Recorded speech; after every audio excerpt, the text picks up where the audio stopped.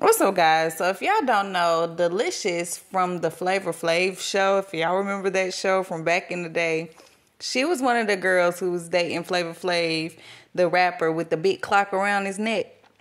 But he gave her her fame. She became social media star or whatever, and she went on to marry Raymond Santana from the Exonerated Five.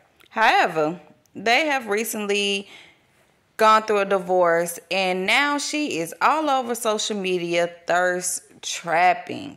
I wanted to do a video about how thirsty she is looking on her Instagram, but it is so explicit that I couldn't even do a video on it.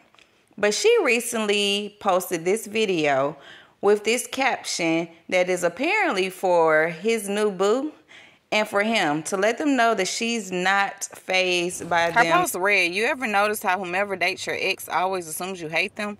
Please relax, laugh out loud. We don't care. It's your turn to suffer. However, this video that she made to go along with the post definitely looks like she's bothered. It definitely does not give someone who is unbothered by the situation, no matter how she flaunts her assets.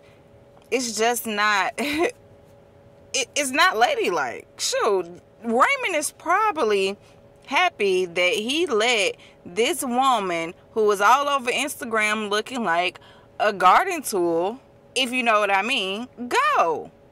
Like, th- this just doesn't look like anybody's wife.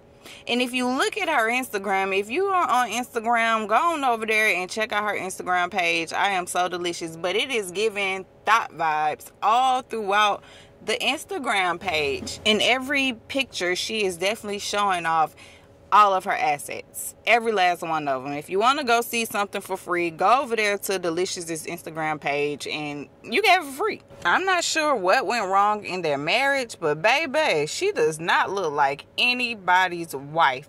And she doesn't look like somebody who's trying to become married again, someone who wants a, a great man to be in their life. She looks like somebody who is looking for you know, she just looks like the jump off. It, that's my opinion. Let me know what you think. Drop down in the comment section. Let me know what you think about this. As always, guys, thank you so much for watching. Don't forget to like, comment, and subscribe. And until next time, bye.